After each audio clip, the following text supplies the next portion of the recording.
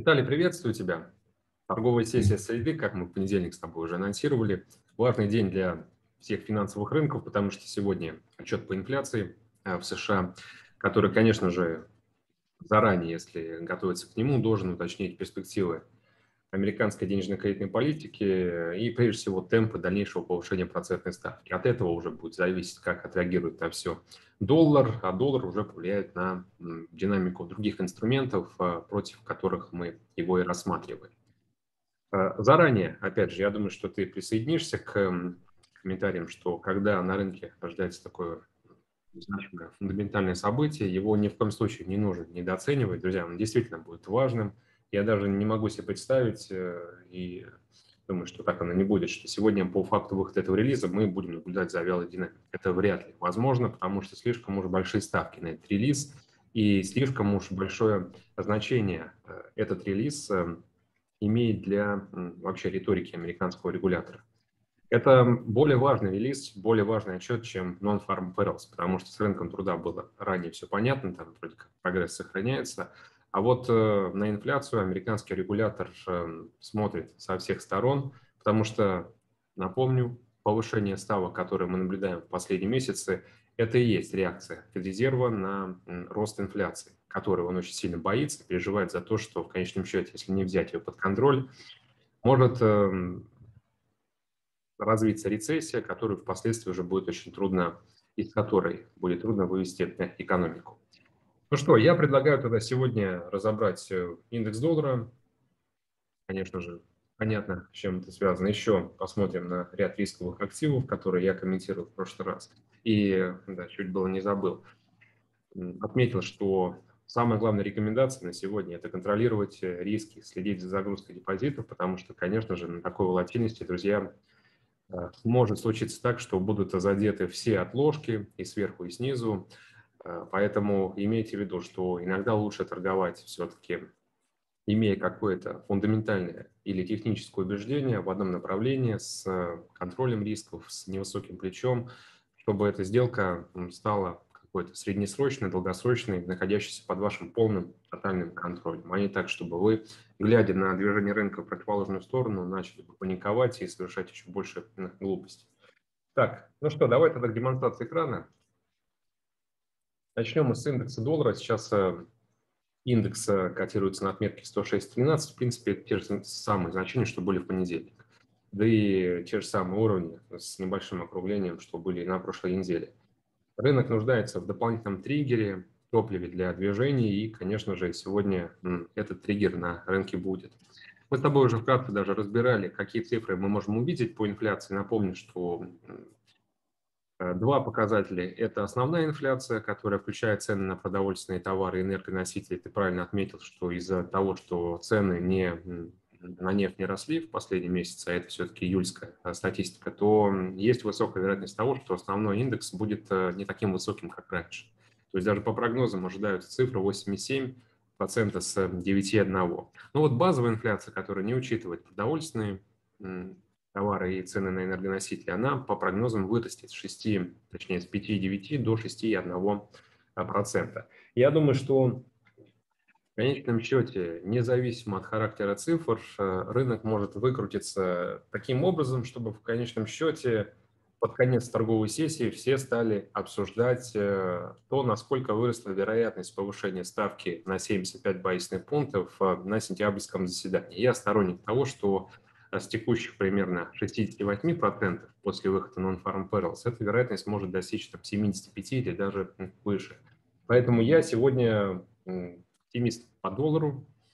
Я думаю, что индекс американской валюты завершит э, текущую торговую сессию поближе к 107 э, пунктам, потому что я, опять же, ожидаю рост инфляции, а пусть и только лишь базового э, компонента – и этот э, рост может убедить американский регулятор быть более решительным в вопросе борьбы с э, индексом потребительских цен и э, направлении повышения процентной ставки.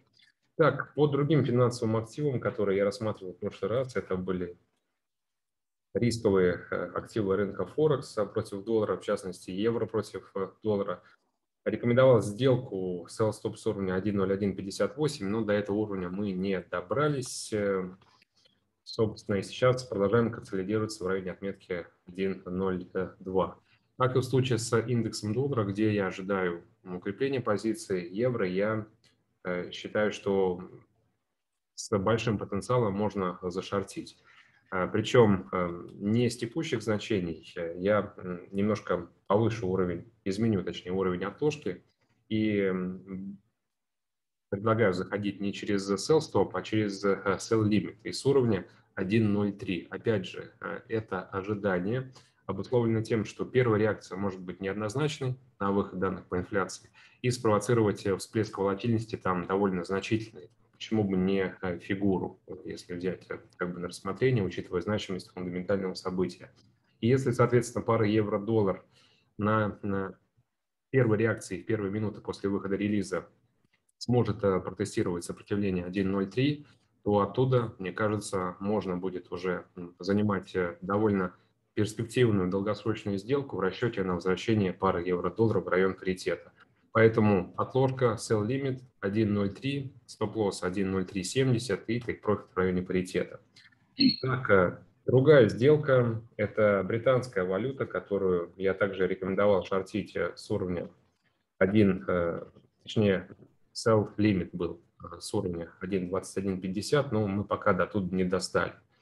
Думаю, что можно оставить в силе в работе эту отложку, потому что тоже в качестве первой реакции допускаю, что будет прострел там, вверх, и после чего все-таки э, на рынок э, вернутся продавцы, куп еще с потенциальным ростом доллара, с мрачными прогнозами от Банка Англии, который озвучил во время нашего с тобой прошлого эфира, по рецессии, по росту безработицы, по снижению доходов, по повышению инфляции.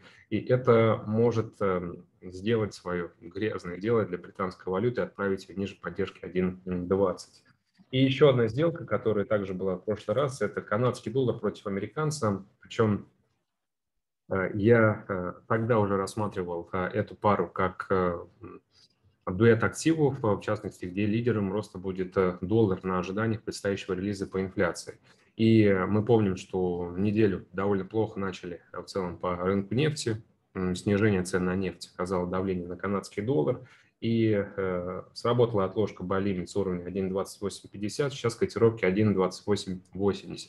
Я рекомендую ее пока удерживать, потому что считаю, что, как и в ситуации с первыми дуэтами активов евро-доллар и фунт-доллар, лидером будет все-таки американская валюта. Плюс ко всему я, хоть и не торгую сейчас, Виталий, э, нефтью, потому что Пытаюсь найти более оптимальную точку входа, но считаю, что краткосрочный потенциал остается еще за продавцами. Поэтому при негативной динамике э, в рамках стоимости бренда WTI давление на канадца может э, усилиться.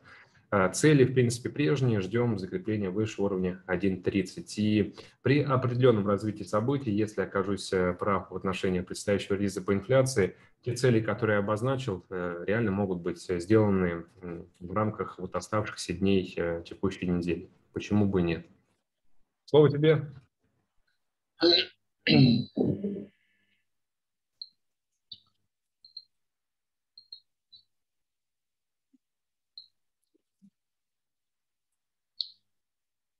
итак, всех приветствую.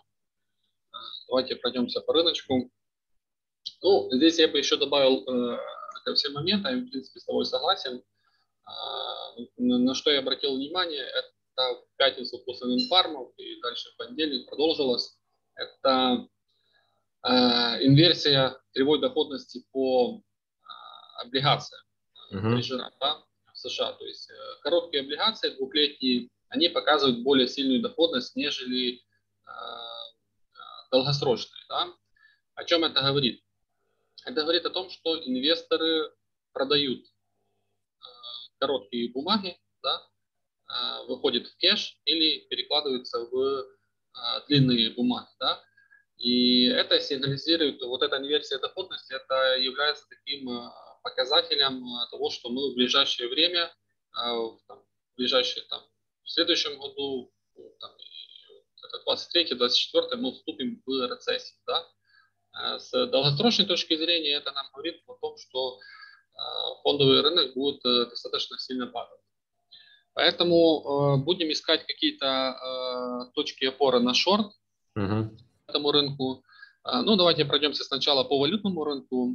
Что у нас было в прошлый раз? В прошлый раз я говорил о том, что евро-доллар я вижу покупку, я дал рекомендацию рискованную на покупочку, то есть мы покупали в понедельник евро-доллар. В принципе, с этих значений евро показывал неплохой интрадей рост, что в понедельник, что вторник мы еще выше, э, около с точки входа мы сделали где-то 50 или 60 пунктов, поэтому интрадей, те, кто торгует, они в принципе неплохо заработали. Я также давал рекомендации э, своим ребятам по евро, мы э, заработали на этом движении. Я ожидал евро повыше, но так как возможно это будет сегодня, но, скажем, у меня закрались небольшие сомнения по евро-доллару по поводу шарта, э, точнее покупок. И я вчера достаточно так рискованно перевернулся с, э, по рынку, свое мнение поменял. А, и я вижу возможность евро-доллара ухода в шорт с текущих. Да?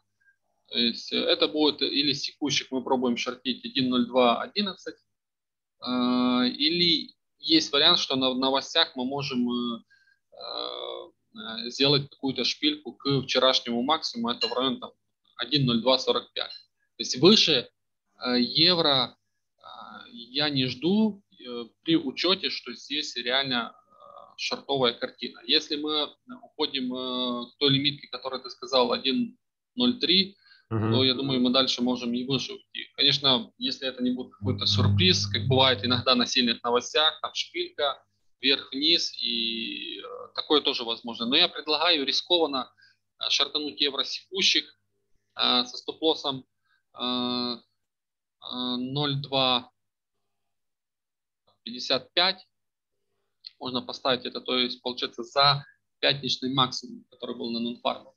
И э, при желании, если мы там на новостях э, чуть-чуть подпрыгнем, поставить лимитку на вчерашний максимум, то есть там еще разместить э, с небольшим риском, с аналогичным стоп-лоссом по 55 по евро-доллару. Поэтому вижу э, шорт. Э, конечно, сложно. Я не люблю так менять свое мнение, когда я, знаете, такой лонг-лонг, да, mm-hmm. и потом что-то локально там меняется, я переворачиваюсь. Ну, скажем, это рынок. Я вчера, кстати, хорошую статью опубликовал у себя на сайте э, и в Телеграме по поводу как раз э, мышления трейдера. А, оно должно быть долгосрочным.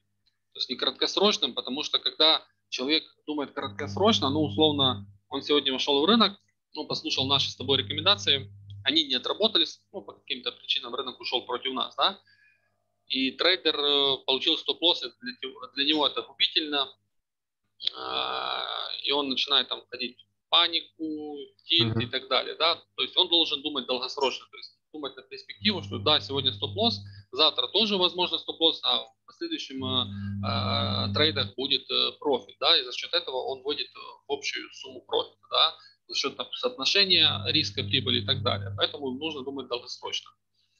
Это что касается евро-доллара. В принципе, по другим валютам э, э, картина аналогичная. То есть я еще добавлю, в принципе, канадский доллар тебя поддерживаю.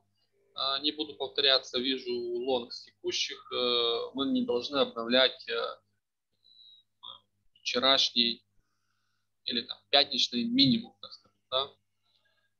А, фунт аналогичный, я вчера тоже писал своим ребятам, что вижу там шорт. А, ну, шорт я вчера писал с текущих, дойдем ли мы туда, куда ты говорил, возможно, ну, возможно нет, если рынок повалится с текущих. Ну, возможно добавить э, по австралийскому доллару, еще картинку, чтобы разбавить э, валютный рынок. Э, шорт текущих 69-65 стоп-лосс за, получается, это у нас максимум понедельника, да, 0,07, 0,70-10, да, а, посмотрим. Обязательно риски, потому что здесь, и если сейчас начнут выкупать, то как новозеландский доллар – то, в принципе, может картинка поломаться. Индекс доллара, о котором я ранее тоже говорил сильно о шартах, в принципе, может себя отработать. По нефти, что я могу добавить, э, бренд, э, есть сильный уровень сопротивления 96-80 и тренд. Пока мы ниже него, э, приоритет шарты, вот если мы его сломим, сегодня на новостях, да, будут, если не ошибаюсь, то, в принципе, можно дальше будет обсуждать уже в последующем о каких-то покупках. Пока вижу только снижение какие-то, в принципе, локально.